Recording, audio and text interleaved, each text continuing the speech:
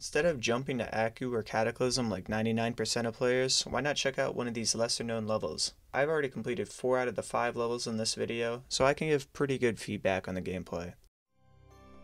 The first level is Snowdrift. It starts off with some hard cube timings in the first 16%, but after that it's pretty much free. From 17 to 100, all you really have to worry about is getting past the choke points.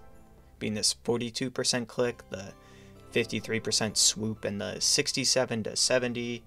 There's like some dumb cube stuff. Like, what is this?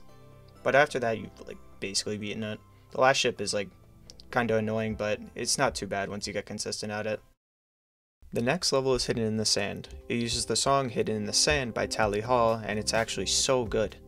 Personally, I'm not the biggest fan of the level, but a lot of other people enjoyed it though, giving a rating of 76.56 on the Extreme Demon Enjoyment list, which is pretty high. It's another level you can learn very quickly. My problem with this level is the moving objects being pretty distracting, but that's probably just a me thing. Like Snowdrift, there's some dumb stuff, like this 37% blue orb, this jump at 74, and the 95% ship, but it's still a good level overall. This next level is my favorite extreme in the game, Tuapeka, Tuapika, I don't know.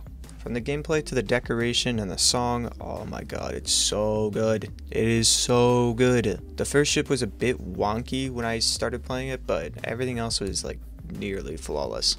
The decoration in the foreground can be a bit distracting, but I promise it gets consistent. And you may ask, if I love the level so much, why did I put it at number 3 instead of number 1? Since the level is medium length, it might be a bit too much to handle for a new player, but I'm telling you it's worth it. This level is actually amazing. And coming in at number 2, we have Any Percent. This is an incredible level by Awesome Me 360. It was released two years ago, but because it took a while to get rated, it didn't really get the recognition it deserved.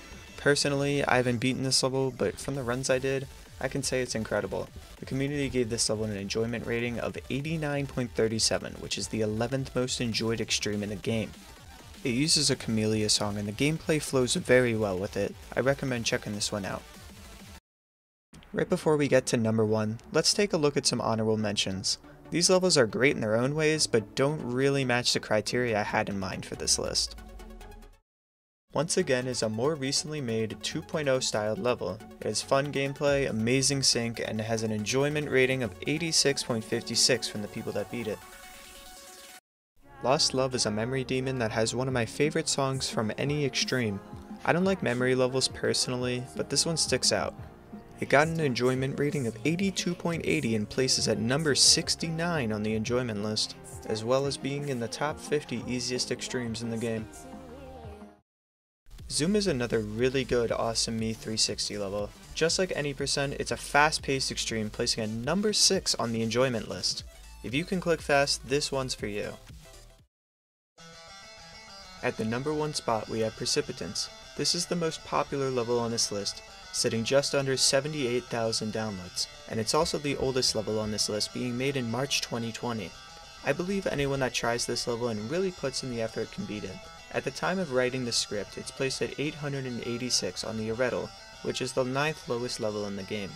For being such an easy extreme and being so fun, I'm surprised this level went so unnoticed. The balancing is overall pretty good. The hardest part is probably the 64% wave and the 78% ball, otherwise playing this level from zero was a blast. This is the most consistent extreme demon I've ever played and getting far is quite common, so I recommend it to new players. Hey guys, this is my first real attempt at a video essay. Even though the idea was pretty bland and unoriginal, I still hope you enjoyed it. I'm still testing out what I'm comfortable with and what kind of videos I can make. This video is more of a test to see what I can and can't do. Wasn't supposed to be perfect, just something good enough. Anyways, thanks for the views guys. See ya.